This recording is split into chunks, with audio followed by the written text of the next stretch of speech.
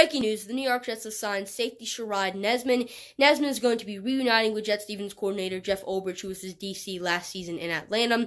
Last season, Sharrod Neasman had 27 tackles, one sack, which was against Tom Brady, and a fumble recovery. Neasman, who is 29, is most likely going to be a special teamer for the New York Jets because that was what he did in Atlanta. He's also going to be some pretty nice safety depth for the New York Jets as he knows his defense.